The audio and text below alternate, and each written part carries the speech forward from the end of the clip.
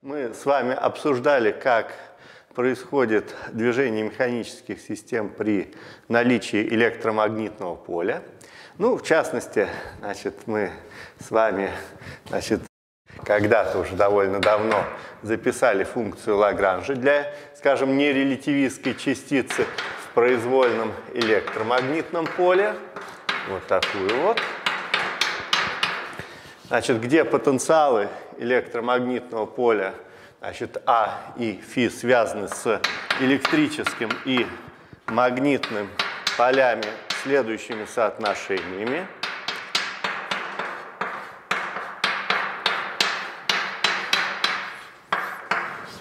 Вот. И в частности мы рассмотрели прошлый раз случай, когда у нас э, движение происходит, ну, например, в постоянном и однородном магнитном поле, скажем, если магнитное поле есть э, некая константа h круглая на EZ, соответственно, где h круглая равняется константа, то в этом случае ну, электрического вот этого вот потенциала нету φ, а векторный потенциал А,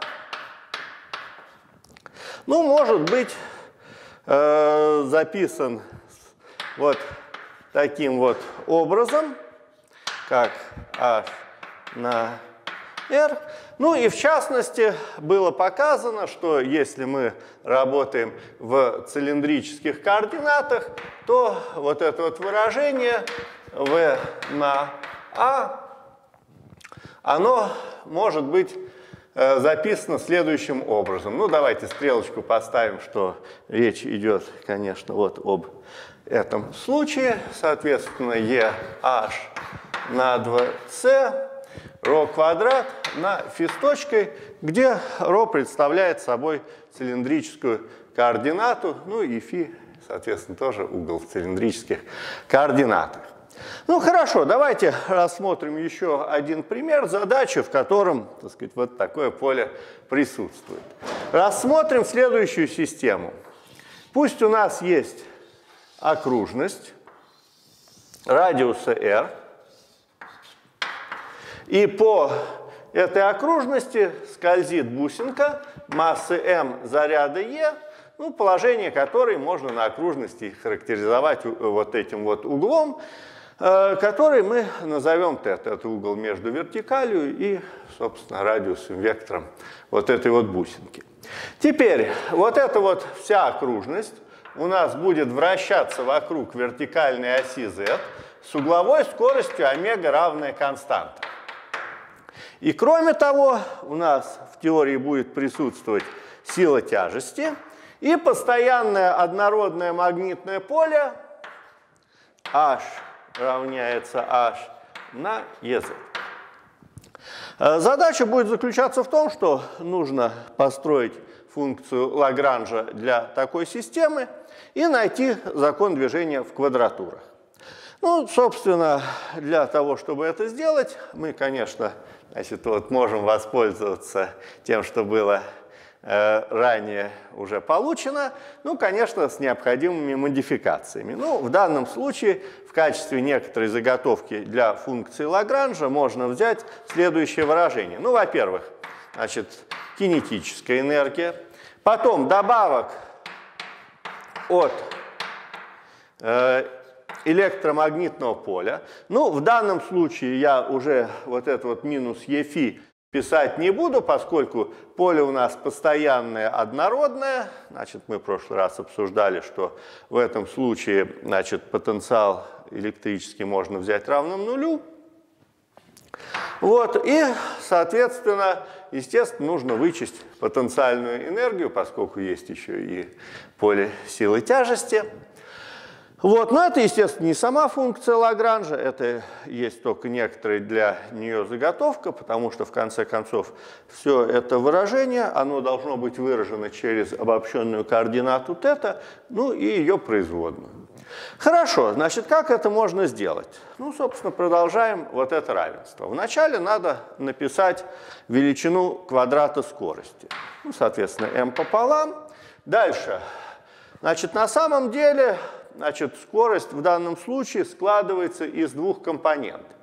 Ну, во-первых, есть вращение вот этой вот проволочки вокруг вертикальной оси, поэтому есть компонента скорости, направленная в доску. Ну и кроме того, угол тета также может меняться, поэтому есть компонента скорости, направленная э, по касательной к этой окружности, естественно, в плоскости доски. Ну и когда мы пишем квадрат скорости, естественно, у нас складываются квадраты вот этих вот двух компонент скорости, и поэтому мы получаем следующее выражение. Значит, скорость, э, часть скорости, которая направлена по касательной к окружности, значит, будет r тета с точкой, ну, естественно, нужно это выражение возвести в квадрат, а, соответственно, часть скорости, которая направлена в доску, ну, будет представлять собой произведение угловой скорости омега на расстояние до оси вращения, которое, ну, понятно, будет r синус тета. Поэтому здесь будет плюс r синус тета омега, ну и, естественно, все возводится в квадрат. Таким образом, вот это вот выражение будет представлять собой v квадрат. Теперь, что касается, значит, вот этой вот части, то можно, конечно, использовать вот это вот выражение – Значит, это, естественно, у нас эм, формула применима, поскольку поле постоянное и однородное. Соответственно, нужно только подставить выражение для ρ, а ρ это в данном случае расстояние от э, оси вращения до нашей точки. И, соответственно, тогда у нас получается EH на 2c r в квадрате синус квадрат тета, ну, точно так же, как и вот здесь. Ну, а физ точкой в данном случае величина постоянная, это как раз не что иное, как угловая скорость частицы, и поэтому вместо физ точкой мы должны подставить вот эту вот постоянную величину омега. Ну и, наконец, последнее, что осталось написать, это э, потенциальную энергию поле силы тяжести, соответственно, здесь будет mg, умножить на высоту подъема частицы. Ну, в качестве нулевого уровня мы будем э, брать вот, плоскость, проходящую через э, центр вот этой вот, э, через центр вот этого кольца, и поэтому высота подъема может быть записана как r косинус тета. Хорошо, таким образом, вот написано уже окончательное выражение для функции Лагранжа. Значит, задача эта имеет одну степень свободы, положение, собственно, значит, бусинки на окружности. Оно характеризуется одним единственным углом тета. Вот функция Лагранжа присутствует как сам этот угол, так и его производная по времени. Хорошо, таким образом функция Лагранжа у нас получена. Теперь остается найти закон движения в квадратурах. Ну, как обычно, для этого, мы уже не раз об этом говорили, необходимо найти интегралы движения, то есть те величины, которые остаются неизменными в процессе движения. Ну и в данном случае понятно, что достаточно найти один интеграл движения, поскольку это система с одной степенью свободы. И таким интегралом движения, конечно, будет являться обобщенная энергия, э, которая сохраняется в силу того, что эта функция Лагранжа явно не зависит от времени, то есть фактически буква t в этом выражении не присутствует. Ну, в соответствии с общим определением, обобщенная энергия равняется сумма по i QIT с точкой dl по d QIT с точкой минус L. Ну, в данном конкретном случае эта формула превращается в следующее выражение тета с точкой, dl по d тета с точкой минус L, поскольку у нас э, имеется единственная обобщенная координата тета. Хорошо, ну, собственно, значит, подставляя выражение для функции Лагранжа, выполняя дифференцирование, мы получаем следующее. Значит, здесь будет тета с точкой. Теперь в функции Лагранжа тета с точкой присутствует только вот здесь вот. Соответственно, мы получаем, что r квадрат тета с точкой есть производная функция Лагранжа по тета. Ну и вычитаем саму функцию Лагранжа. Соответственно, минус m пополам, r квадрат тета с точкой в квадрате плюс m пополам r квадрат синус квадрат тета омега в квадрате плюс EH на 2c r квадрат синус квадрат тета омега. Так, и минус mgr косинус тета. Ну, опять же, можно легко заметить, что вот эти вот слагаемые похожи друг на друга, отличие будет только в коэффициенте, поэтому если все аккуратно сложить, то получится следующее выражение. mr квадрат тета с точкой в квадрате пополам э, минус m пополам r квадрат синус квадрат тета омега квадрат минус EH на 2c r квадрат синус квадрат тета омега плюс m же r косинус тета. Хорошо, таким образом, вот у нас есть выражение для обобщенной энергии, ну и стоит сравнить его с выражением для функции Лагранжа. Собственно, конечно, вот это выражение можно было написать достаточно легко, просто глядя вот сюда.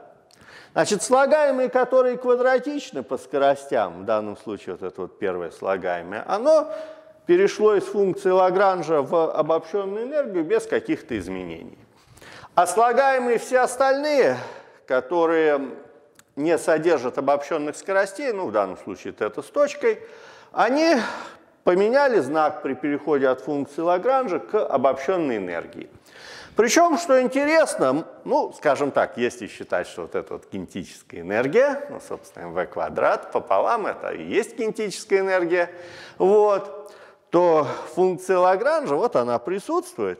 А что касается обобщенной энергии, то вот здесь как раз вот знак относительный между вот этими двумя слагаемыми поменялся, и поэтому, конечно, ну, нужно так с большой осторожностью в некоторых случаях как раз вот э, подходить к формулам, что L равно T минус U, а E равно T плюс U. Ну, это, конечно, значит, нужно э, использовать с определенной осторожностью. Ну, вот видно, что в данном случае как раз можно совершить ошибку, если попытаться написать, что энергия равняется там T плюс U, то, конечно, здесь получится немножечко другое выражение. Ну хорошо, в конце концов, значит, обобщенная энергия у нас есть. Поскольку функция Лагранжа не зависит от времени, то мы можем написать, что она сохраняется, то есть равна константе. Ну, после чего э, зависимость тета от времени в квадратурах ну, получается моментально. Собственно, выражаем значит, вот из вот этого вот равенства тета с точкой. Соответственно, тета с точкой равняется d тета по dt, равняется плюс-минус корень 2 на mr квадрат e минус, так, плюс mr квадрат пополам синус квадрат тета омега квадрат.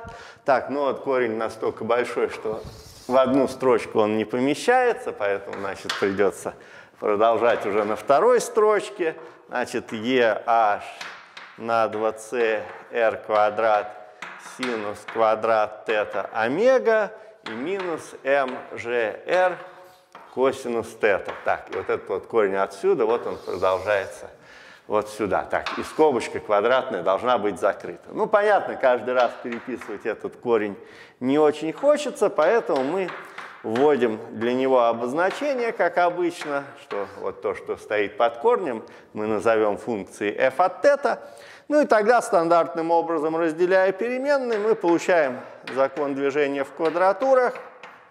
t минус t нулевое равняется интеграл t θ разделить на корень из f от θ, ну и начальное условие собственно, учитываются вот в пределах интегрирования. Собственно, ну, с учетом вот этой вот формулы, это есть как раз ответ для нашей задачи, по сути, закон движения в квадратурах.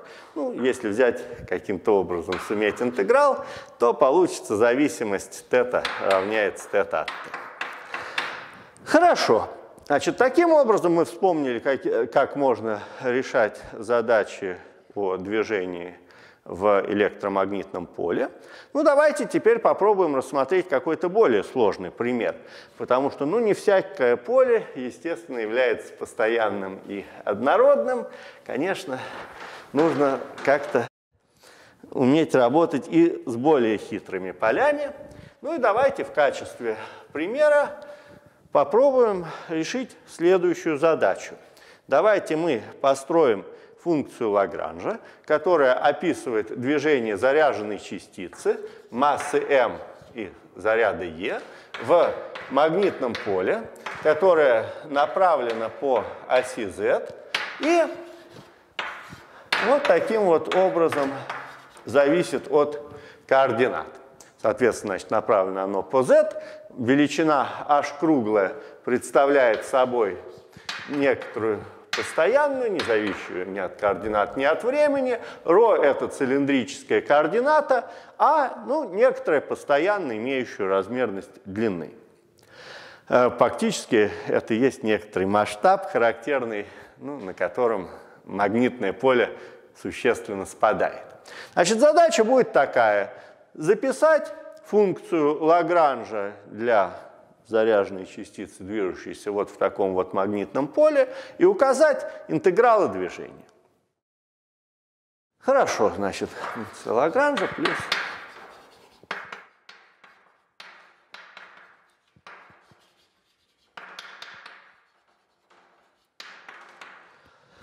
Ну, понятно, что начать надо с того, что посчитать потенциалы электромагнитного поля.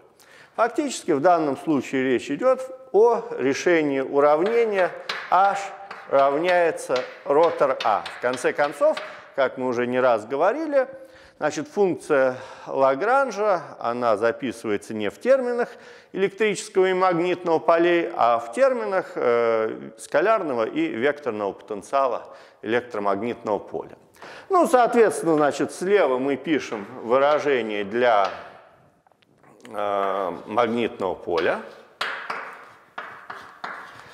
А справа должны написать выражение для ротора. Ну, поскольку у нас магнитное поле фактически написано через цилиндрические координаты, ρ – это, в конце концов, цилиндрическая координата, то и выражение для ротора также удобно выписать в цилиндрических координатах.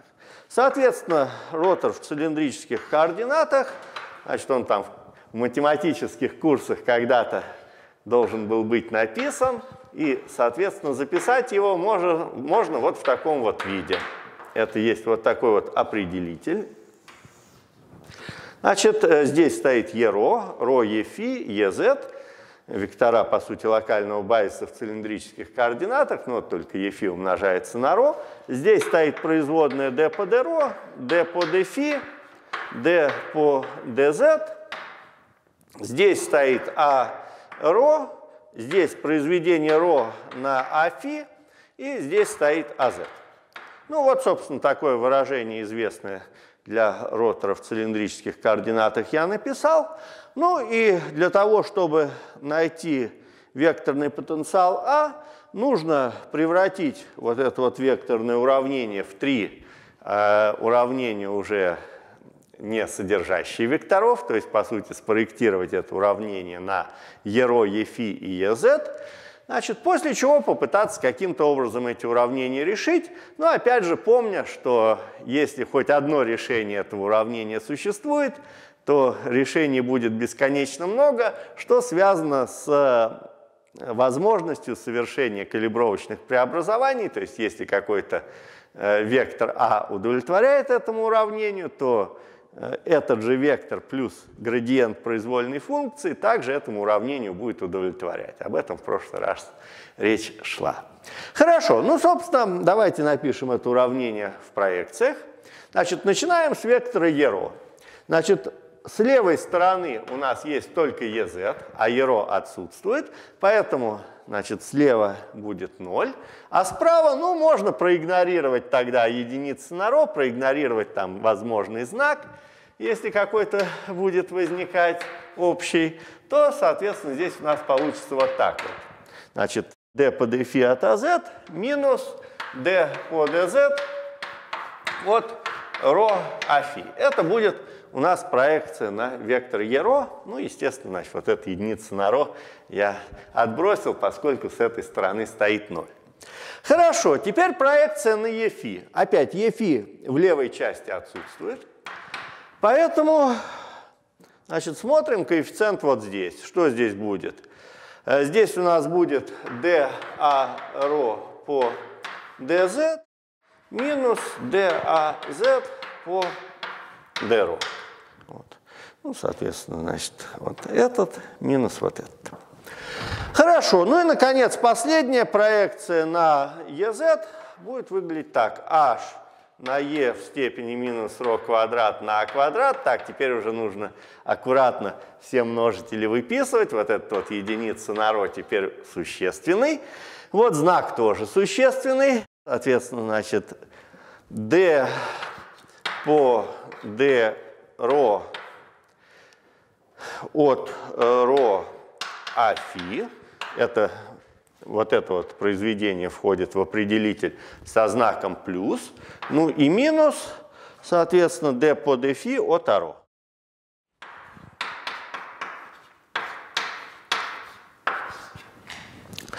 Ну, собственно, вот получилась система из трех уравнений, ну и нам достаточно попытаться найти, ну, хоть какое-нибудь ее решение. Все равно их бесконечно много, так что ну, постараемся найти какое-нибудь.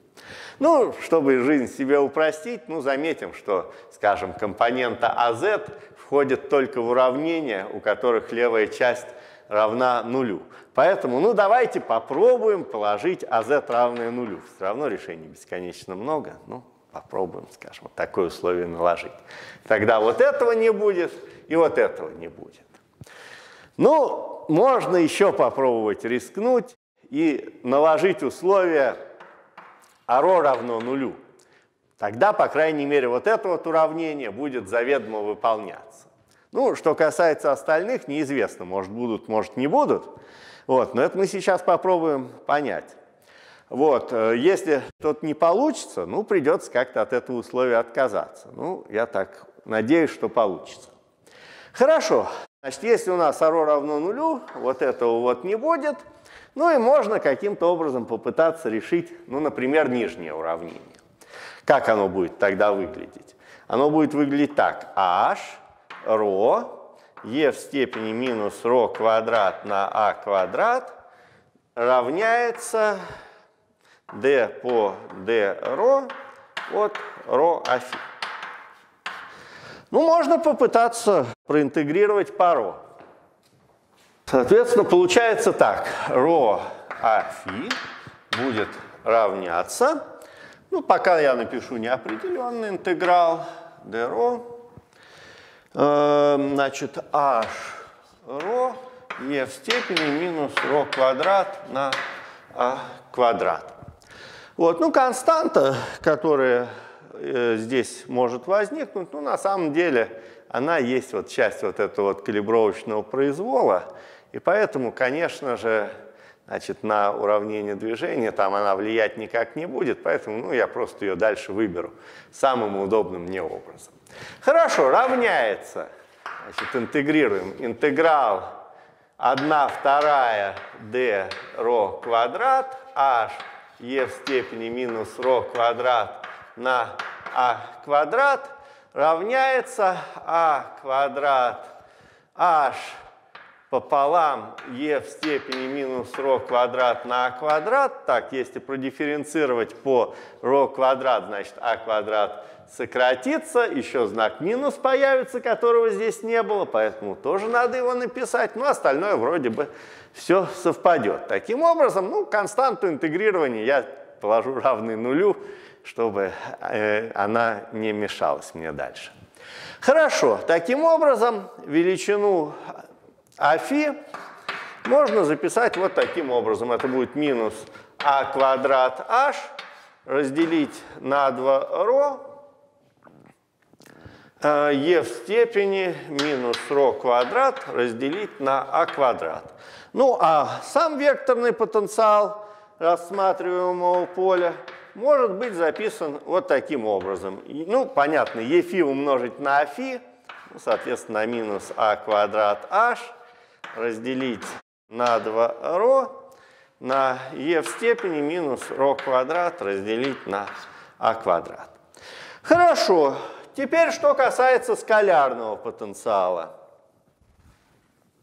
Значит, скалярный потенциал у нас должен быть определен из условия электрическое поле равняется минус единице на c dA по dt минус набла фи. Ну, у нас по условию электрическое поле отсутствует. Что касается частной производной dA по dt, то, значит, вот здесь, конечно, нужно помнить, что здесь именно стоит d круглая, частная производная, и на вот такое выражение, которое буквы t не содержит, такая частная производная просто не действует, поэтому соответствующий результат будет равен нулю. Вот если было бы полная, была бы полная производная, надо было бы дифференцировать ρ. Вот, но поскольку производная частная, то производ... частная производная ρ по времени просто будет равна нулю. Ну хорошо. Понятно, что самым простым решением этого уравнения будет просто φ равное нулю. Ну, что, Собственно, дальше мы и будем предполагать. Какие-то более сложные решения никак э, не изменят уравнение движения.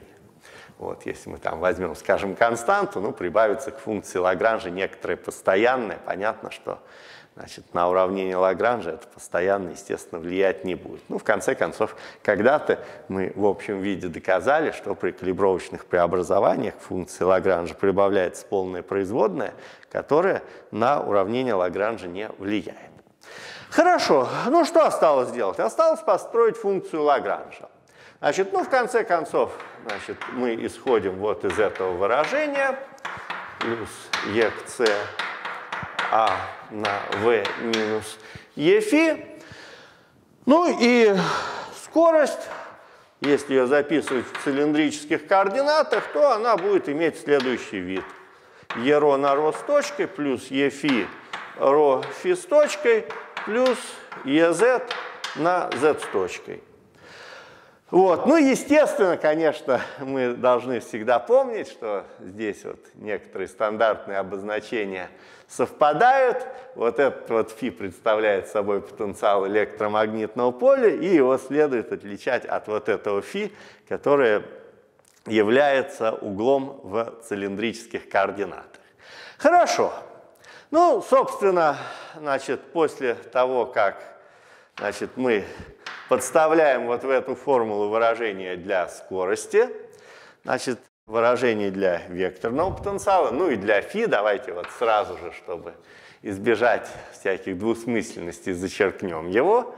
Вот, у нас получится такое выражение m пополам, ρ с точкой в квадрате, плюс ρ квадрат φ с точкой в квадрате, плюс z с точкой в квадрате, это будет кинетическая энергия. Ну, а что касается вот этой вот величины, то мы просто скалярно умножаем скорость на вот эту вещь. При этом у нас ρ взаимно уничтожается, и получается, значит, минус e, вот этот вот, а квадрат h, разделить на 2c, Значит, c идет вот отсюда, ρ сократилось. Потом e в степени минус ρ квадрат разделить на а квадрат. Ну и последний еще вот этот вот фисточкой, который идет из скорости. Ну вот таким образом получилось окончательное выражение для функции Лагранжа. Ну и видно, что поскольку поле не является постоянным однородным, то, конечно, ну, здесь немножечко другая величина по сравнению с тем, что было в случае постоянного поля. Поэтому, конечно, решая задачи, всегда нужно значит, помнить, какое у нас задано поле, является ли оно постоянным однородным или не является, и в зависимости от этого, конечно, задачи решаются ну, немножко по-разному. Хорошо, что касается интегралов движения. Ну, они находятся, естественно, стандартным образом – Здесь ничего сложного нету. Значит, если у нас функция Лагранжа не зависит от какой-то обобщенной координаты, ну, такая координата, как мы когда-то говорили, называется циклической, то сохраняется соответствующая компонента обобщенного импульса. Но в данном случае мы видим две циклические координаты. Это z и φ. Ну, действительно, z с точкой функции Лагранжа присутствует, а z без точки отсутствует. То же самое относится к фи. Фи с точкой функции Лагранжа есть, а просто буква фи без точки отсутствует. Поэтому сохраняются у нас компоненты обобщенного импульса по z и по φ. Соответственно, pz равняется dl по dz с точкой равняется mz с точкой равняется константа, поскольку функция Лагранжа не зависит от z, а p φ равняется dl по d φ с точкой равняется m ρ квадрат φ с точкой минус e а квадрат h разделить на 2c e в степени минус ρ квадрат на а квадрат ну, также равняется константа, поскольку функция Лагранжа не зависит от φ. Ну и кроме того, еще одной сохраняющейся величиной является обобщенная энергия. Значит, она в данном случае будет представлять собой вот такую величину. Давайте, пожалуй, что ну, еще один раз посчитаем ее по определению. Значит, плюс z с точкой dl по dz минус l равняется ну, я думаю, что если мы уж еще раз посчитаем все аккуратно, то закономерность э, будет понятна, и, в принципе, дальше мы уже будем, наверное, в простейших случаях обобщенную энергию ну, строить просто глядя на функцию Лагранжа. Соответственно, ну, пока что все-таки считаем аккуратно. Значит, будет рост точкой m рост точкой плюс фи с точкой. Дель по d фи с точкой вот только что было посчитано. m ро квадрат фи с точкой минус e а квадрат h разделить на 2c e в степени минус ро квадрат на а квадрат. Так, потом плюс z с точкой на mz с точкой, mz с точкой, и минус функция Лагранжа. Так, ну, уже придется сюда перейти. Так.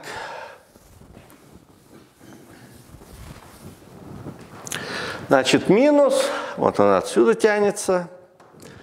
Соответственно, минус вот это выражение. m пополам, ρ с точкой в квадрате, плюс ρ квадрат φ с точкой в квадрате, плюс z с точкой в квадрате, плюс e а квадрат h на 2c, e в степени минус ρ квадрат на а квадрат фи с точкой. Хорошо, смотрим. Вот это вот слагаемое сокращается с этим. Вот это вот похоже на вот это. Вот это похоже на вот это. Ну и, наконец, вот это похоже на вот это. Поэтому результат может быть записан следующим образом.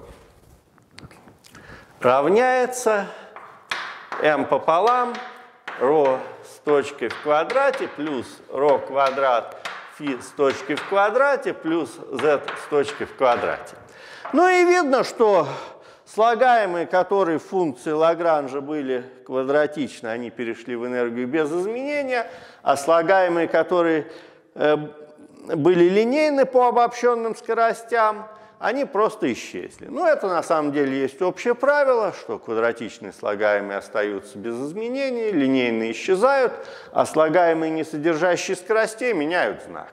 Ну, в дальнейшем я уже буду пользоваться этим правилом и обобщенную энергию буду считать не по определению, как мы сейчас сделали, ну а используя вот это вот простое правило.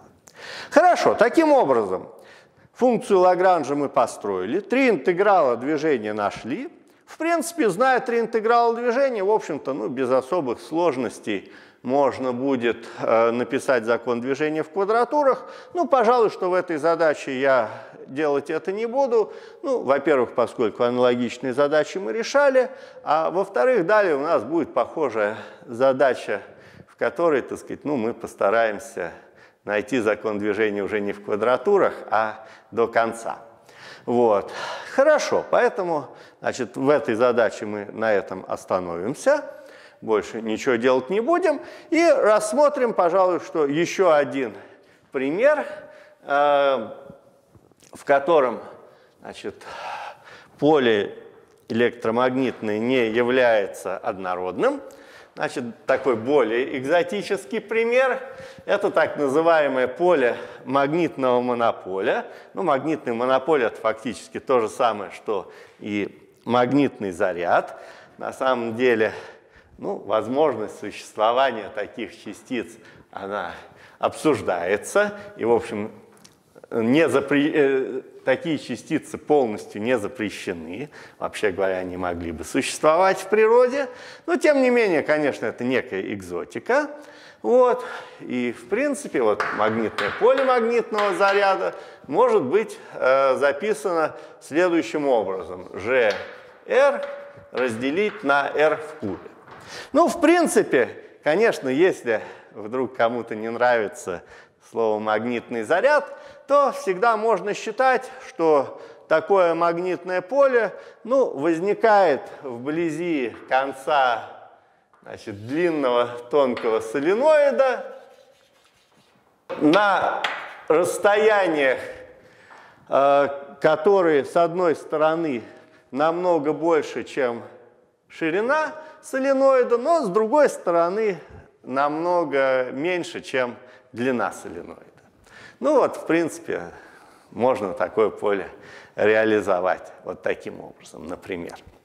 Если, так сказать, отмести возможность существования всяких экзотических частиц. Хорошо, итак, рассмотрим вот такое вот поле. И попытаемся Э, выяснить, каким образом будет двигаться в этом поле заряженная частица массы m и заряда e. Значит, ну, пока что вот в этом семестре мы с вами ограничимся просто построением функции Лагранжа. На самом деле, сама возможность построения функции Лагранжа, конечно, вызывает некоторые вопросы. Ну, прежде всего, прежде всего, нам Вообще говоря, нужно решить уравнение h равняется рот ra.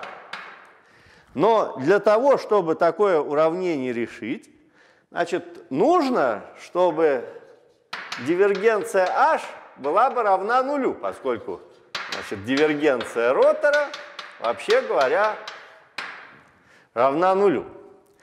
С другой стороны, на самом деле дивергенция вот этого поля отлична от нуля. Значит, ну, можно попытаться понять, почему это происходит. Действительно. Ну, попробуем вначале формально вычислить дивергенцию. Дивергенция h равняется, ну, можно, скажем так, записать формально, применить вот этот оператор набла вот к этому вот полю. Тогда, собственно, значит, с помощью формулы для дифференцирования произведения можно написать вот такую вот формулу. Уп, плюс GR набла от единицы на r в кубе равняется, значит, дивергенция радиуса вектора это dx по dx плюс dy по dy плюс dz по dz это равно просто тройке, поэтому первое слагаемое будет 3g разделить на r куб. Ну, а во втором слагаемом, там, используя, так сказать, стандартные правила для дифференцирования, ну, несложно получить, что это будет gr на 3r разделить на r в пятой. Ну и таким образом получается, что соответствующее выражение равняется нулю. Вот. Ну и поэтому на первый взгляд никакой проблемы не возникает. Однако проблема все-таки есть, поскольку весь вот этот вот вывод справедлив только в том случае, если радиус вектор отличен от нуля. В случае, когда r равно нулю, конечно, эти рассуждения, естественно, неприменимы, но тем не менее, значит, можно заметить, что если рассмотреть интеграл по значит, всему объему трехмерного пространства от дивергенции h, то по теореме Гаусса это будет интеграл ds от h равняется, соответственно, значит, интеграл ds э, от g r разделить на r в кубе, ну, где интегрирование, естественно, предполагается по некоторой сфере бесконечно большого радиуса, охватывающей все э, трехмерное пространство. Значит, вектор ds, естественно, направлен вдоль радиуса вектора. Ну и поэтому, значит, что здесь будет? Поскольку вот эти вектора сонаправлены, то можно избавиться вначале от скалярного произведения. Получится ds умножить на g на r квадрат. Ну, а поскольку значит, здесь интегрирование фактически ведется по углам, а подинтегральное выражение от углов не зависит, ну, можно интеграл, естественно, взять. Интегрирование по углам даст 4π. Ну, понятно, поскольку ds элемент площади поверхности сферы еще возникает r квадрат. Ну, соответственно, умножается на g на r квадрат и получается 4πg. Ну, собственно, понятно, что если бы дивергенция h была бы везде равна нулю, ну, наверное, бы отличный от нуля результат здесь не получился. Вот, поэтому, конечно, dfh это все-таки не ноль. Ну, а как несложно понять, значит, из вот этой формулы и из вот этой формулы, что дивергенция h будет равна 4π на дельта-функцию Дирака от r, да, которая равна нулю всюду, кроме точки r равная нулю, а в точке r равная нулю, ну, она равна, соответственно, бесконечности, причем как бы интеграл от дельта-функции по объему, естественно, считается по определению равным единице. Таким образом, дивергенция h, понятно, значит, в данном случае не будет равна нулю, причем отличие от нуля будет происходить только при r равное нулю. Поэтому, с одной стороны, что-то похожее вот на это условие у нас есть, но, с другой стороны, все-таки дивергенция h, строго говоря, не равна нулю. Поэтому, вообще говоря, вопрос, ну, решится это уравнение или не решится? Ну, давайте попробуем каким-то образом его решить. Хорошо. В конце концов, значит, естественно, эту задачу э, удобнее всего решать в сферических координатах. Ну и поэтому давайте просто попробуем, вот получится или нет, решить вот это вот уравнение, используя сферические координаты. Ну, соответственно, значит, h равняется ротор А. Значит, с этой стороны я пишу выражение для магнитного поля. Значит, учитывая, что в сферических координатах вектор локального базиса ER направлен вдоль радиуса вектора и имеет единичную длину, его можно представить вот так, в таком виде. И поэтому то, что вот здесь вот стоит, может быть записано таким образом. Магнитный заряд G на вот этот вот вектор локального базиса и, значит, единица делить на r квадрат. Хорошо, это с одной стороны. С другой стороны, значит, выражение для ротора в сферических координатах – также было когда-то, должно было быть получено в одном из математических курсов и, соответственно, имеет следующий вид. ER, R E тета, R синус тета E фи, D по DR, D по D тета, D по D фи, а R, так, R А тета, R синус тета афи. Ну, давайте, опять же, спроектируем это уравнение на вектора локального базиса. Тогда в проекции на ER мы получим g разделить на, э, так, на r квадрат. с одной стороны с левой, а с другой стороны единица на r квадрат синус тета. Теперь здесь будет d по d тета от r синус тета а фи минус d по d фи от r от тета. Так, это будет одно уравнение. Теперь, значит, все остальные уравнения, проекции на e тета и e фи, значит, с левой стороны, конечно, будут содержать 0, поэтому общий множитель, конечно, может быть отброшен. Вот. Ну и то же самое относится и ко всевозможным знакам. Соответственно, проекция на e тета тогда даст d по dr от r синус тета а фи. Так, минус DAR по D фи. Вот это будет проекция на E тета.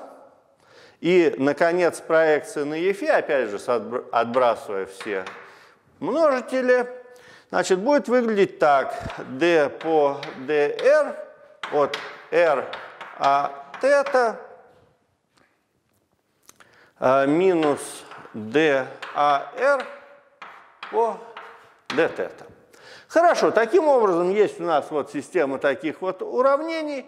Ну, давайте попробуем ее решить тогда уже после перерыва. А сейчас 5 минут отдохнем. Значит, вот у нас была получена вот такая вот система уравнений. Ну, как обычно, давайте попытаемся найти хотя бы одно решение. Ну, здесь, конечно, уже стоит вопрос о том, есть ли хотя бы одно решение. Правда, если хоть одно решение мы найдем, то, естественно, их будет бесконечно много. Ну, попробуем. Опять же, поскольку компонента AR входит в уравнение с нулевой левой частью, то можно попробовать наложить условие AR равное нулю. Этого не будет, этого не будет. Кроме того, если еще вдобавок от это положить равным нулю, то вот это уравнение будет выполняться на автомате, ну и кроме того, от это исчезнет вот здесь. Ну, что касается верхнего уравнения, ну, можно попытаться его решить. r квадрат слева-справа сократится, и получится следующее. g синус тета равняется d по d тета от r синус тета афи. Хорошо. Ну, раз так, давайте проинтегрируем. Так, что получится? Получится, что r синус тета афи будет равно, ну, во-первых, некая константа интегрирования какая-то. Пожалуй, вот здесь мы ее оставим. Минус g косинус тета. Таким образом, значит, величину афи можно записать так, как какая-то константа минус g косинус тета разделить на r синус тета. Ну и константу давайте я значит, представлю в виде произведения магнитного заряда ну, на некоторую другую постоянную k, так, чтобы можно было магнитный заряд вынести. k минус косинус тета разделить на r синус тета. Хорошо, ну а, собственно, векторный потенциал может быть записан вот так вот. Так, g разделить на r синус тета. Так, k минус косинус тета. Ну и поскольку слева вектор, то есть справа должен быть вектор, соответственно, мы должны еще добавить вектор локального базиса Ефи.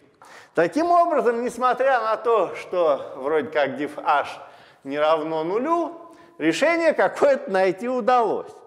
Ой, да, конечно, надо, естественно, значит, сказать, что поскольку значит, афи у нас, от, кроме тета, больше ни от чего не зависит, то и последний из трех вот этих вот уравнений, которые здесь были написаны, также удовлетворяется. То есть вот этот вот афи, он по-прежнему, э, он будет удовлетворять Э, не только первому там и третьему уравнениям, но и второму тоже. что, естественно, можно проверить моментально, поскольку кроме значит, тет, э, тета величина r синус тета, а фи больше ни от каких других аргументов не зависит. Хорошо, хорошо. Теперь, теперь.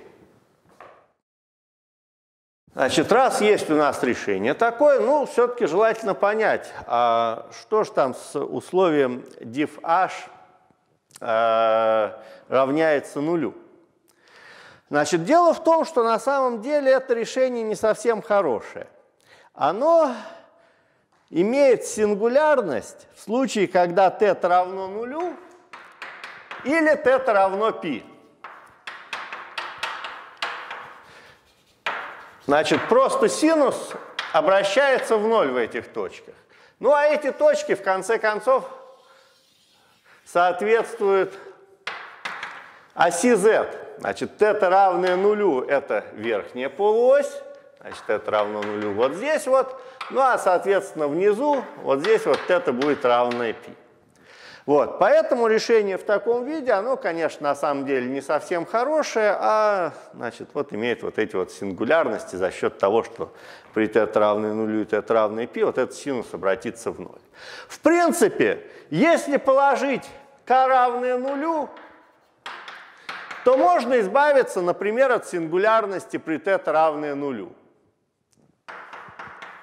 То тогда при тета, стремящимся к нулю, ну вот это вот выражение, там k минус косинус тета разделить на синус тета, ну будет примерно равно, поскольку k, ой, извините, если k равно единице, вот, если k равно единице, вот, то при тета стремящемся к нулю это будет приближенно равно вот такому вот выражению, разделить на тета, ну и, соответственно, примерно равняется тета пополам тета пополам. Таким образом, сингулярность вблизи тета равная нулю исчезла. Теперь здесь получается уже хорошее выражение.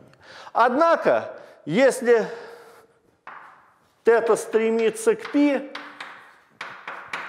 то вот это вот выражение, значит, k косинус тета делить на синус тета, значит, при k, естественно, равном единице, получается примерно 2 поделить на тета. Ну и здесь видно, что сингулярность э, 2 тета минус... Сейчас, сейчас, сейчас, 2, извините. Аккуратно 2. Значит, единица минус, давайте так напишем, минус 1 поаккуратней. А здесь можно написать вот так вот. Это то же самое будет. И, соответственно, будет примерно равно, поскольку это теперь стремится не к нулю, а к π, соответственно, то это будет и минус тета. Вот. Ну и видно, что сингулярность действительно будет присутствовать в этом случае. Таким образом, скажем, выбрав k равно единице, мы можем сингулярность вот здесь убрать, но она останется вот здесь вот, на этом луче. Аналогичным образом, если k выбрать равным минус единице, то сингулярность останется при t равное нулю и исчезнет при t равное π. Ну и, собственно, вот наличие этой сингулярности как раз и есть плата за то, что дивергенция h в точке r равная нулю э, значит, не исчезает. Хорошо. Ну, в конце концов, значит, сумели мы решить уравнение h равняется ротор а и получить векторный потенциал для вот такого вот магнитного поля. Ну, а раз так, то можем написать функцию Лагранжа для заряженной частицы, движущейся в таком поле. Соответственно, функция Лагранжа представляет собой вот такое вот выражение. Плюс ЕКЦ В А минус ЕФИ. Ну, ровно по тем же соображениям, что и ранее. Значит, вот это вот фи, значит, скалярный потенциал электромагнитного поля может быть положен равным нулю фактически, поскольку наше поле от времени никак не зависит. Вот векторный потенциал у нас есть, скорость в сферических координатах мы знаем, чему равна. Это будет вот такое вот выражение. Плюс Ефи R синус тета фи с точкой. Ну и, собственно, подставляя, получаем следующее выражение для функции Лагранжа. m пополам r с точкой в квадрате плюс r квадрат тета с точкой в квадрате плюс r квадрат синус квадрат тета фи с точкой в квадрате. Так, теперь здесь будет плюс e. Теперь мы должны скалярно умножить вот эту скорость на вот этот вот векторный потенциал. Значит, понятно, что поскольку вот здесь вот есть ефи, то при скалярном э, умножении выживет только слагаемое, которое содержит ефи внутри скорости. Соответственно, r синус тета вот здесь и r синус тета вот здесь взаимно уничтожатся. И останется вот такое выражение g, k минус косинус тета умножить на фисточкой. Хорошо, теперь вот эти вот величины E, C, магнитный заряд G, вот это вот постоянное K, которое у нас возникло при интегрировании, это все постоянные величины. А фи с точкой – это есть полная производная фи по времени. Но мы с вами говорили, что если добавить функции Лагранжа полную производную от какой-то функции координат обобщенных и времени, то уравнение движения не изменится. Поэтому можно совершенно спокойно вот это вот слагаемое, содержащее постоянное k зачеркнуть, поскольку при этом мы просто функцию Лагранжа меняем на полную производную по времени, и, собственно, окончательное выражение для функции Лагранжа может быть записано вот таким вот образом. r с точкой в квадрате плюс r квадрат тета с точкой в квадрате плюс r квадрат синус квадрат тета фи с точкой в квадрате, ну, естественно, умножить на m пополам, и минус g разделить на c косинус тета фисточкой. Ну, таким образом, вот получилась функция Лагранжа, которая описывает движение электрически заряженной частицы с зарядом Е в поле тяжелого неподвижного магнитного монополя с магнитным зарядом G. Хорошо, если опять же анализировать э, сохраняющиеся величины в этой задаче, то, глядя на функцию Лагранжа, можно увидеть две сохраняющиеся величины, поскольку в данном случае φ есть циклическая координата, поэтому будет сохраняться pφ, равное dl по d φ с точкой, равняется m r квадрат синус квадрат тета φ с точкой, минус, естественно, надо не забыть еще вот это слагаемое продифференцировать, EG разделить на c косинус тета. Вот таким образом, значит, вот у нас будет компонент обобщенного импульса по φ, она будет являться константой в силу того, что функция Лагранжа от самого φ без точки не зависит. Ну и, естественно, вторым интегралом движения является обобщенная энергия, поскольку вот эта вот функция Лагранжа явно не зависит от времени. Ну и опять же, используя вот то правило, о котором я говорил, мы можем ее легко написать, уже ничего не считая.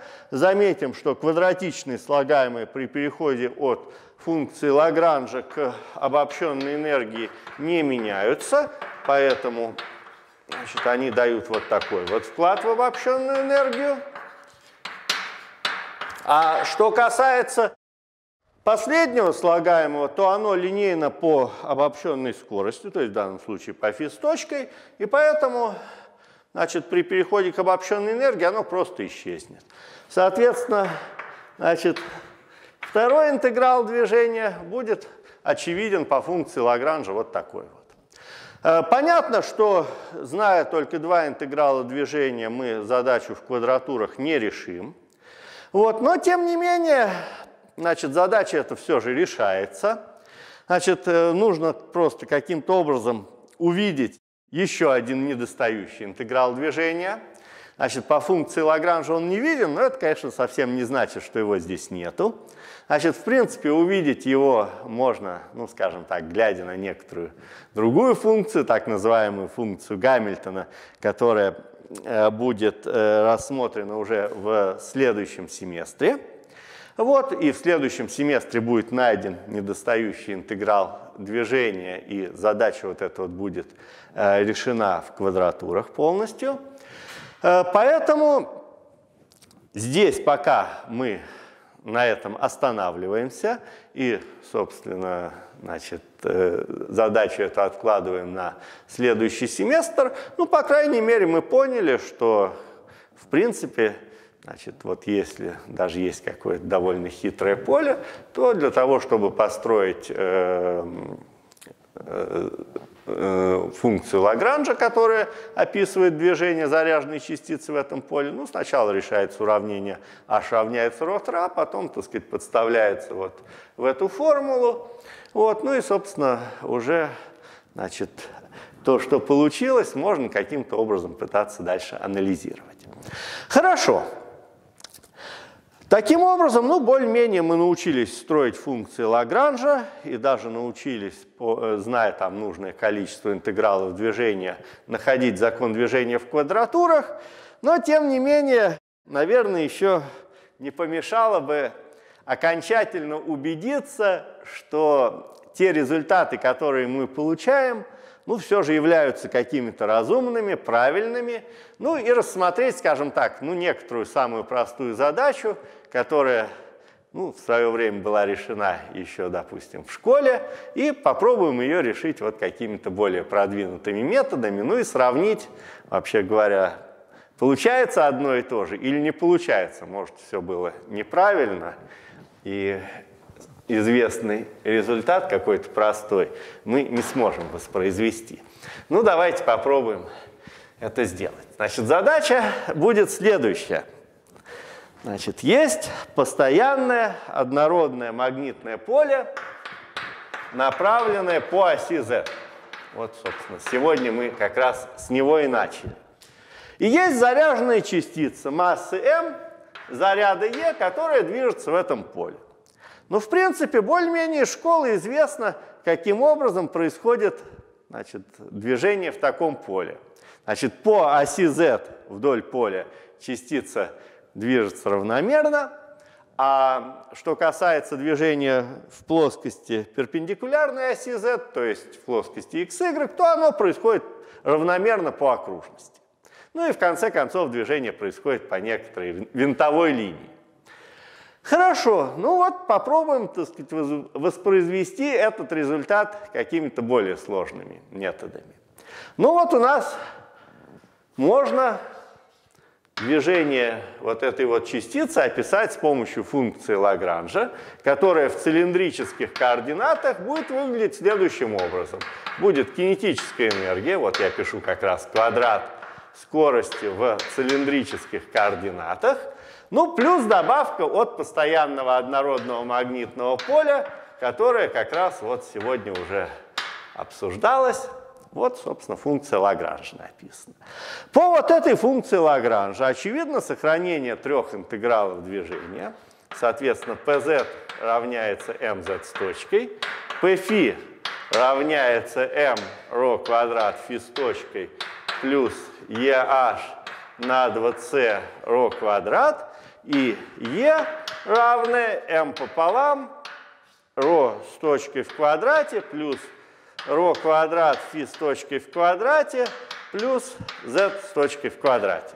Ну, я думаю, понятно, как были построены эти величины. Первые две получались дифференцированием, соответственно, по z с точкой и по φ с точкой. Ну, а что касается энергии, квадратичные слагаемые перешли в нее без изменения, линейная по скоростям слагаемая просто исчезла. Хорошо. Значит, все эти величины, естественно, равны константе, да, поскольку это интегралы движения.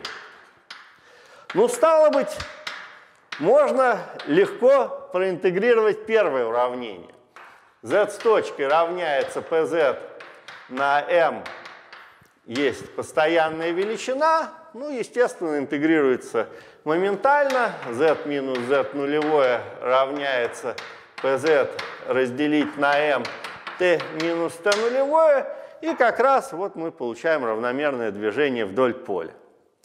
Хорошо, таким образом, ну, по крайней мере, вот один результат еще известный со школы мы воспроизвели.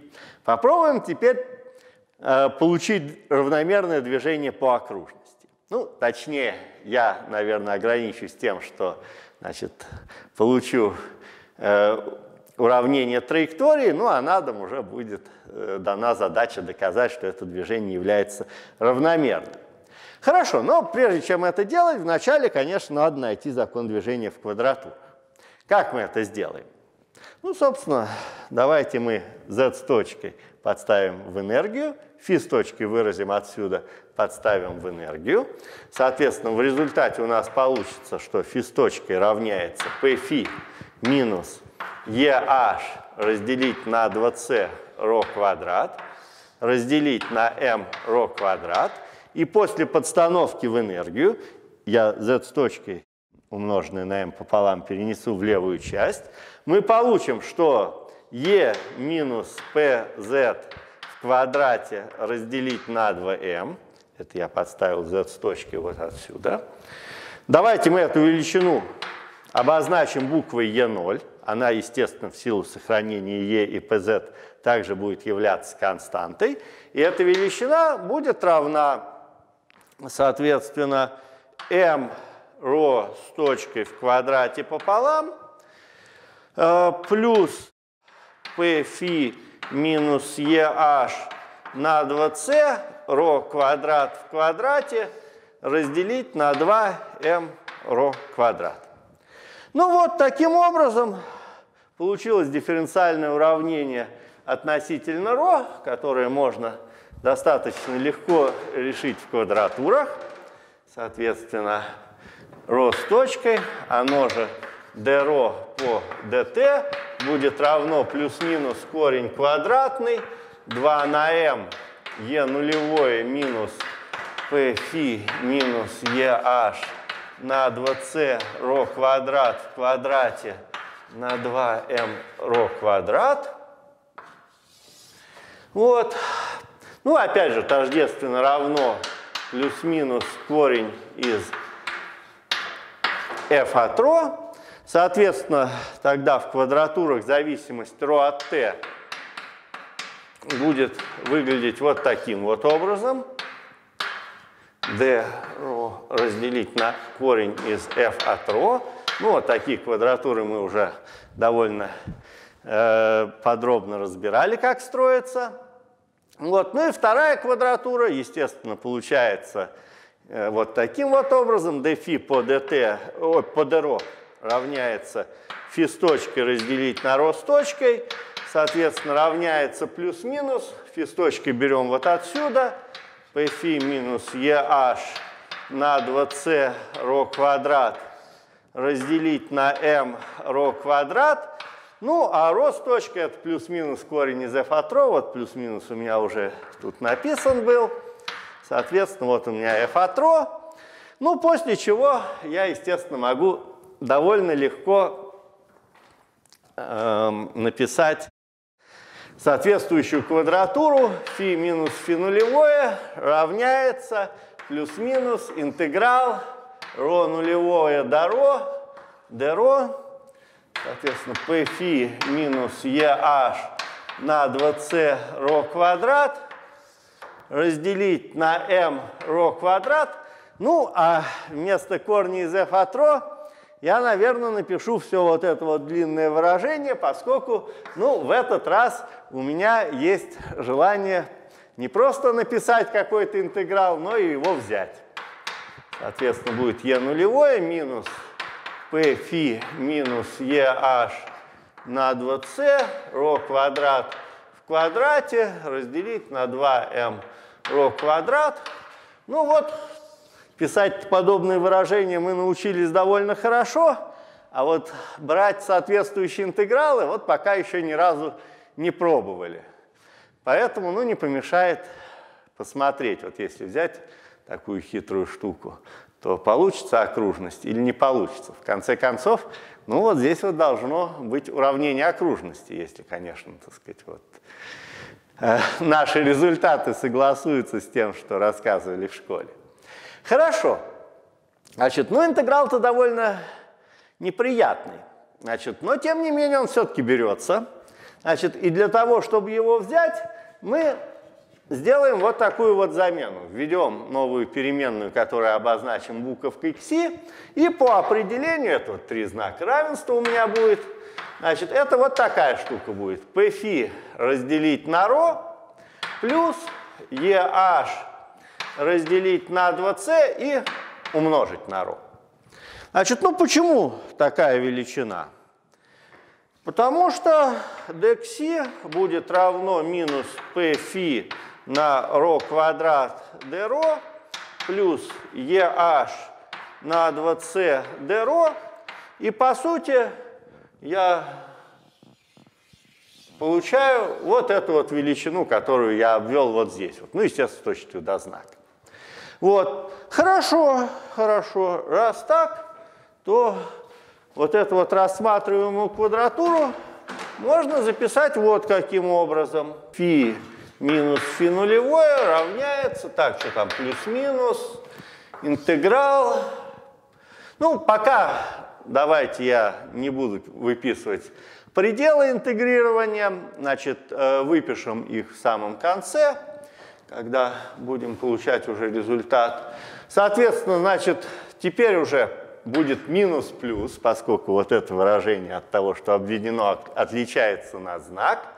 Соответственно, декси, декси, значит, единица разделить.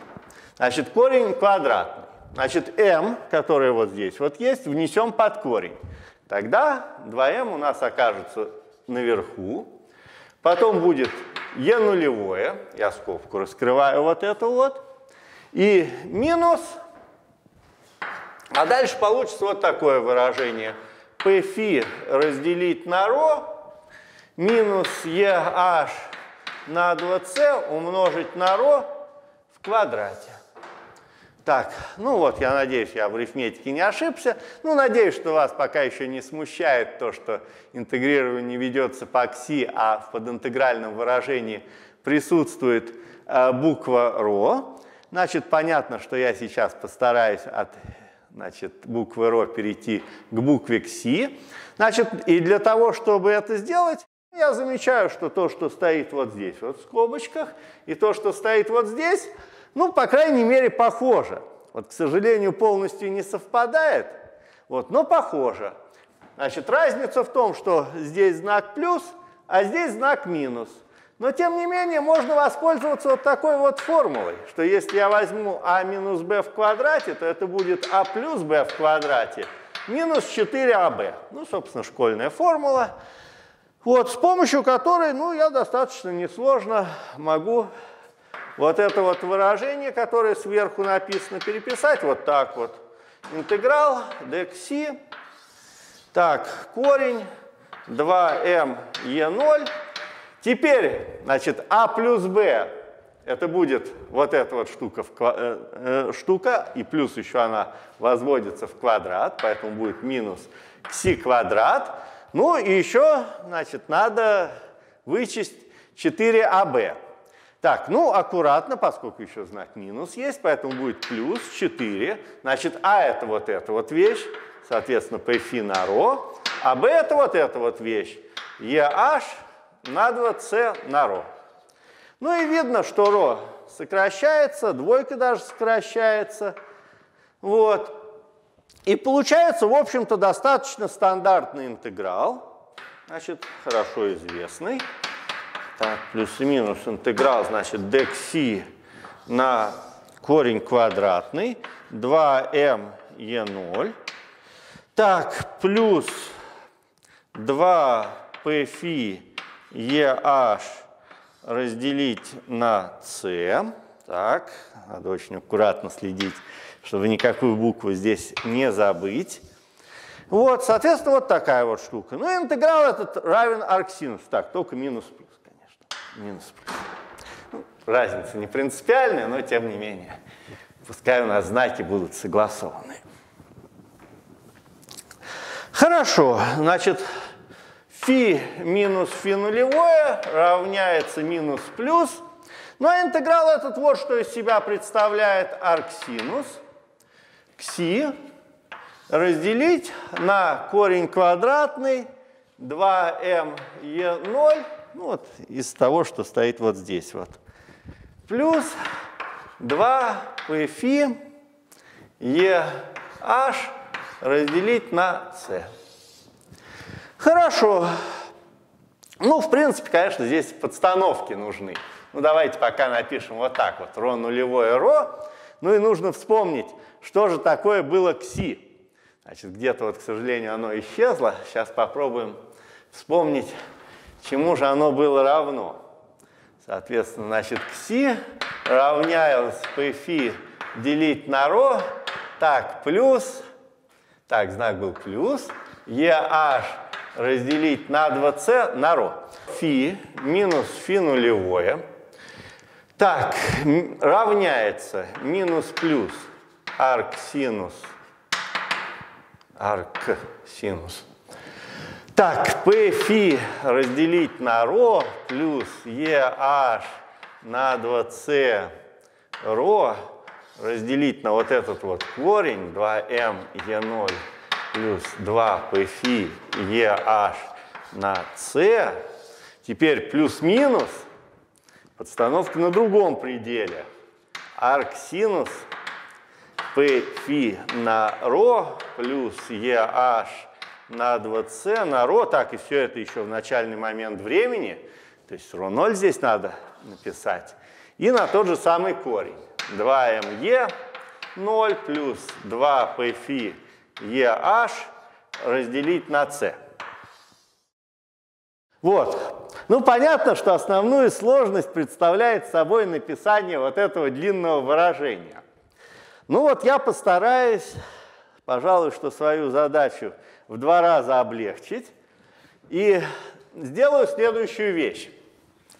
Я, пожалуй, что соединю, значит, вот этот вот нижний э, предел э, интегрирую, нижнюю подстановку с феноль. Ну, как это можно сделать? Ну, в принципе, понятно. Значит, можно, наверное, то же самое. Давайте вот все-таки один раз еще напишем длинное выражение. Значит, вот все, что там написано, можно записать, наверное, вот таким образом, что pφ разделить на ρ плюс EH на 2c ρ разделить на вот этот вот корень 2m e0 плюс 2 pφ eh на c равняется. Ну, давайте попробуем э, подумать, что здесь получится. Так, ну, во-первых, минус плюс, да, минус плюс у нас есть. Потом синус, скобка, значит, здесь будет фи минус фи 0. Теперь вот это еще переносим сюда. Минус плюс, соответственно, арксинус. Арксинус. Так, PFI разделить на ρ0 плюс EH на 2C ρ0 на корень 2m E0 плюс 2PFI EH на C. Так, и квадратная скобка закрывается. Вот такое длинное выражение получилось. Ну, мне вот не очень хочется работать с таким длинным выражением. Что я сделаю? Я соединю фенулевое вот с этим и обозначу результат φ1. В случае, когда вот здесь вот знак плюс. Ну, а в случае, когда знак минус, то я тоже, в принципе, могу выйти из ситуации, если вспомнить, что там есть какая-то известная школьная формула, там синус π плюс альфа равняется минус синус альфа, то в принципе, переопределив аргумент синуса на π, ну, я всегда могу изменить вот здесь вот знак. Поэтому, значит, можно, значит, и вот эту вот штуку, и знак, ну, как бы включ... соединить вместе с феноль и записать получившееся равенство – вот таким вот образом, что pφ разделить на ρ плюс EH ρ разделить на 2c равняется, ну теперь уже плюс-минус не будет, 2m e0 плюс 2 pφ EH на c. А вот здесь я напишу так, синус фи, который вот этот, а все остальное, значит, ну, феноль, вот эту штуку, возможное пи, в зависимости там от знака, я запишу как минус фи 1. Вот так вот. Ну вот, вот получилось, в конце концов, так сказать, э, уже решение уравнений движения без квадратур. Ну вопрос, а что в итоге вышло-то? Вот мое утверждение заключается в том, что вот это есть уравнение окружности. Ну, конечно, на первый взгляд не очень похоже. Но, тем не менее, понять, что это так, можно. Давайте попробуем сделать это. Для этого первое, с чего я начну, умножу вот эту вот и левую, и правую часть этого уравнения на ρ. Тогда слева получается pφ плюс EH на 2c, ρ квадрат, равняется корень квадратный, ну вот это вот все длинное выражение, 2pφ EH на c. Потом здесь будет умножить. Так, умножить, ну, вот здесь вот придется его переместить вот сюда вот. Ро, которое вот это. Потом, а синус фи минус фи 1 я тоже по какой-то школьной формуле, значит, расписываю. Синус фи косинус фи 1 минус ро косинус фи на синус фи 1. Так, ну, надеюсь, что я эту формулу правильно написал. Хорошо, а вот в таком виде уже больше похоже это уравнение на уравнение окружности, особенно если переписать его в декартовых координатах. В конце концов, как связаны декартовые координаты с цилиндрическими? x равняется ρ косинус фи, y равняется ρ синус фи. Тогда здесь у нас получится p фи плюс EH на 2c, x квадрат плюс y квадрат равняется ну вот этот вот корень длинный, 2m e нулевое плюс 2pφ eh разделить на c. Соответственно, а здесь будет у нас y косинус φ1 минус x синус φ1.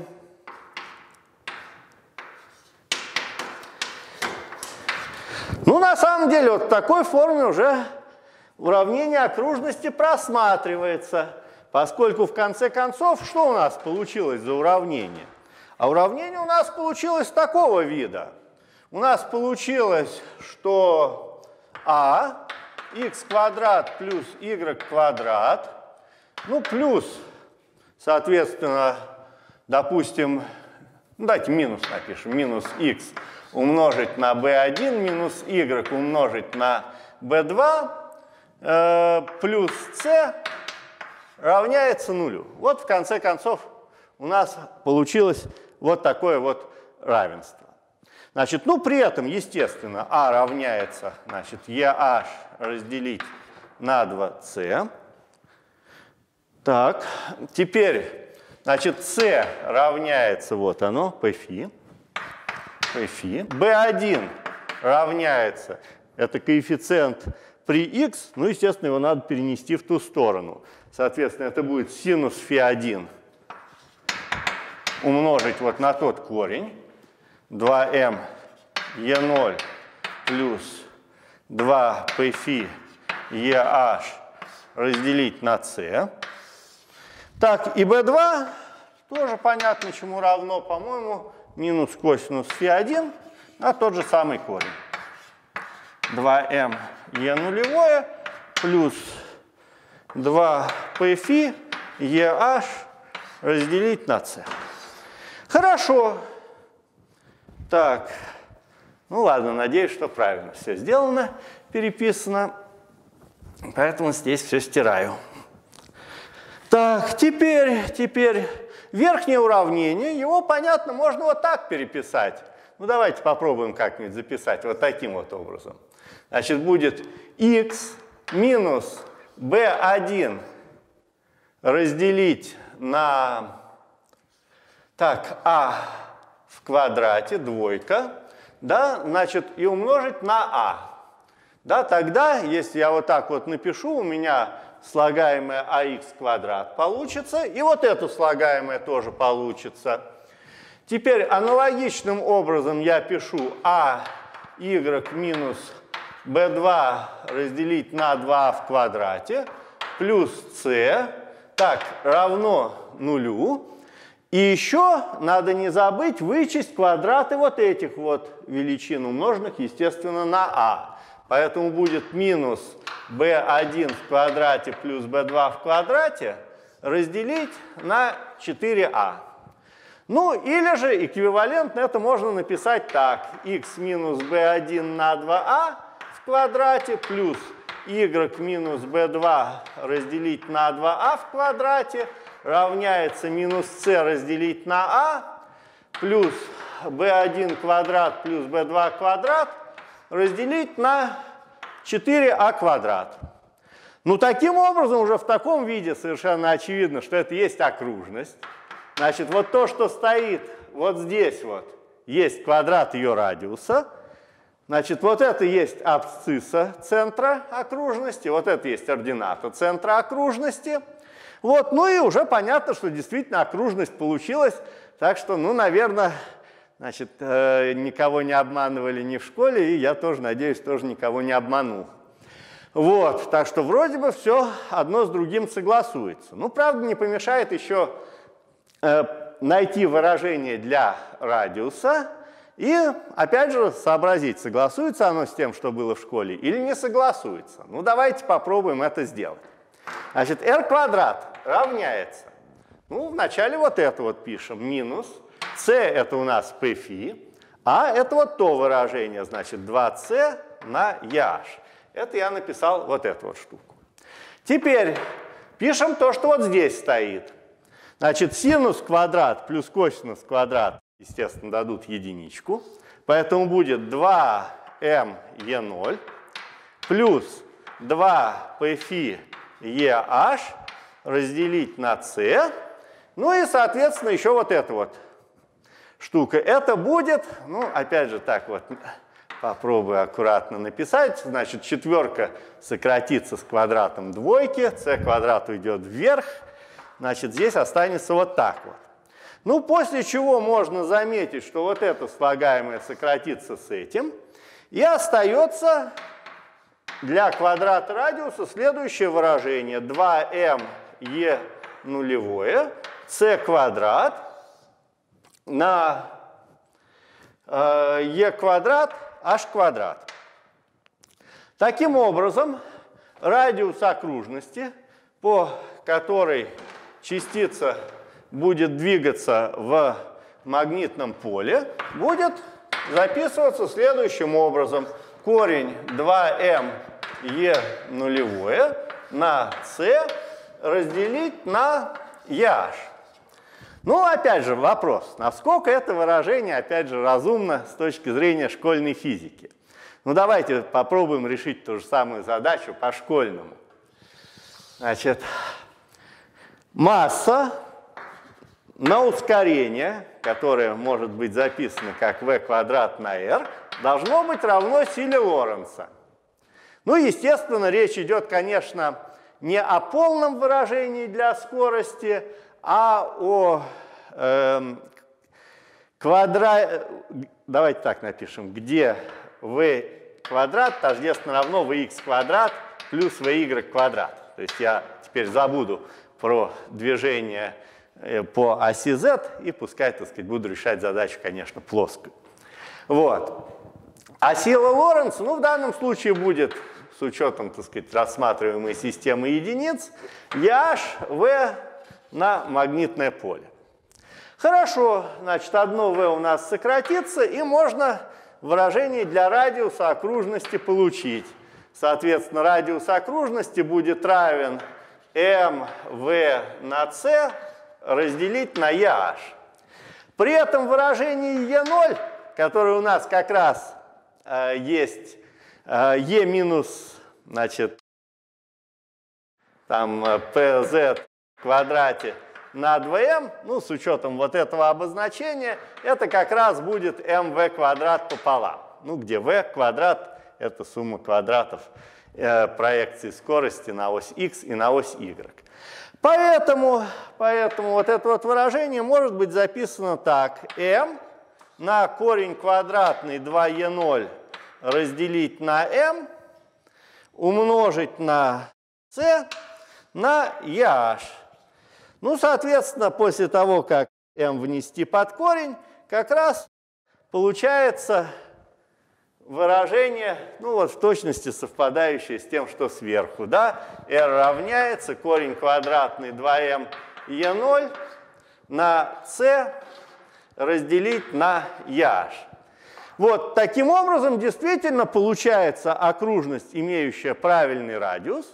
Но другое дело, что, конечно, уравнение этой окружности в полярных координатах довольно сложное. Почему? Потому что эта окружность, вообще говоря, э, центр ее находится не в начале координат, ну а где-то, да? Вот. Окружность может быть либо так расположена, либо окружность может быть расположена, второй вариант – расчистим. Второй вариант может быть вот такой вот. Хорошо, теперь давайте вот, наверное, последнее, что мы сегодня сделаем, вот немножечко я задержу, минут на пять, наверное, вас, эм, мы выясним, каким образом можно различить вот этот случай и вот этот случай. Значит, в принципе, это сделать на самом деле довольно легко. Значит, давайте попробуем посчитать вот это вот расстояние. Значит, мы его обозначим буквой r маленькая. Радиус окружности r большое – это вот это вот расстояние, а r маленькое – это вот это. Понятно, что вот этот случай будет соответствовать r маленькому большему, чем r, а вот этот случай, он будет соответствовать значит, э, вот такому неравенству. Хорошо, давайте посмотрим внимательно, чему равно r маленькое. Значит, мы с вами говорили, что координаты центра окружности, значит, это есть b1 разделить на 2a, а y координата центра окружности есть b2 разделить на 2a. Поэтому r квадрат ну, будет представлять собой просто x центра плюс y центра в квадрате равняется b1 квадрат плюс b2 в квадрате разделить на 4а квадрат. Это с одной стороны. А теперь давайте сравним это выражение с величиной r квадрат, которая равна минус c разделить на а плюс вот эта вот величина как раз – вот мы как раз формулу для радиуса окружности получили вот такую. Ну, на всякий случай, поскольку, опять же, что-то стерлось, то я не поленюсь проверить. Хорошо, вот так вот, значит, где c равняется pφ, а a равняется EH разделить на 2c. Ну, отсюда можно сделать следующий вывод. Следовательно, если Значит, c разделить на a больше нуля, то r квадрат, поскольку вот эта вот величина вся вместе со знаком минус, будет отрицательно, а вот это вот есть r квадрат, то есть можно записать вот таким вот образом, то, соответственно, r квадрат должен оказаться больше, да? Значит, таким образом мы попадаем вот в эту ситуацию. Заметьте, что величина А, ну, допустим, если, пусть так, если величина А положительна, да, значит, если А больше нуля, вот так вот, пусть у нас магнитное поле сонаправлено с осью Z, заряд положительный, тогда, соответственно, вот эта вот ситуация будет соответствовать ПФИ большему нуля. Да, то есть если А положительно, то тогда, соответственно, ПФИ больше нуля получается. Ну и опять же, как несложно сообразить, что вот эта вот ситуация будет соответствовать отрицательным значениям ПФИ.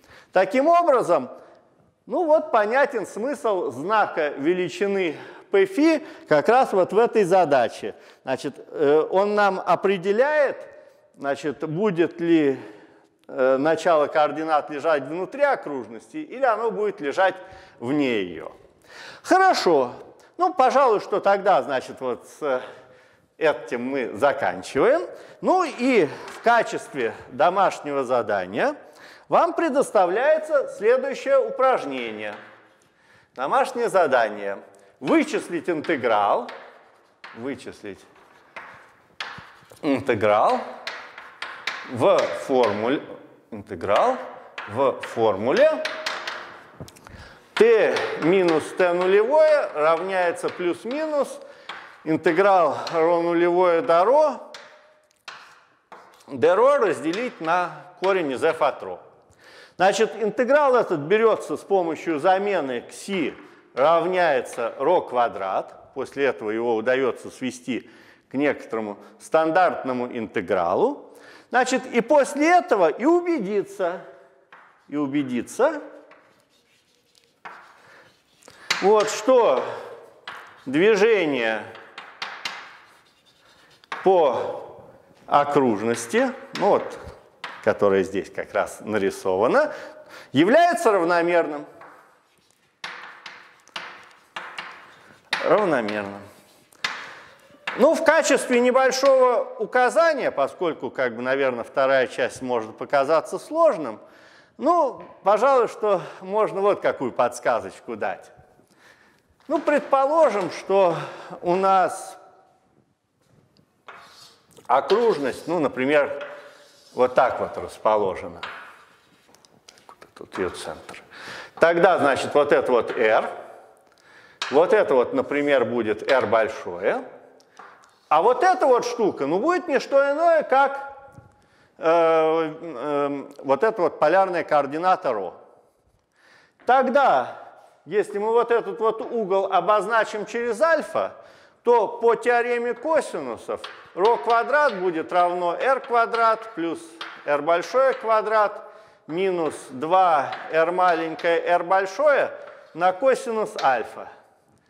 И вот то, что получится после взятия интеграла, нужно как раз будет сравнить вот с этой формулой и убедиться, что получится, что вот этот вот угол альфа будет меняться равномерно, э, ну да, будет линейно зависеть от времени, вот так вот лучше сказать. Будет линейно зависеть от времени, ну и причем как бы частота, с которой вот частица движется по этой окружности, как раз должна согласовываться с той частотой, которая известна еще из школьного курса физики. Это тоже, конечно, нужно проверить. Ну хорошо, сегодня мы тогда на этом заканчиваем.